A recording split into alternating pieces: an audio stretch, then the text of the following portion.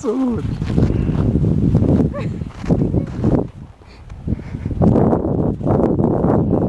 Das ist toll. Ja. Schlittenfahrer ohne Schlitten, der ist